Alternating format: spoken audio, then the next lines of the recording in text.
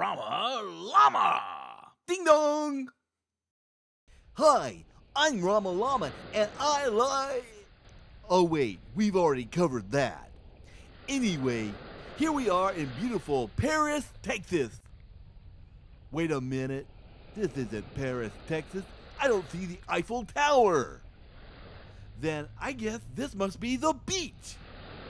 I love the beach because you can do lots of things there, such as water skiing, laying around and getting a suntan, get sand in your swimsuit, or, oh, look! Scuba gear! You know, that reminds me of a song I wrote once. Here's how it goes. Well, I climbed aboard in my scuba gear, dove to the ocean floor in my scuba gear, got the bends once more in my scuba gear. Oh no, scuba gear.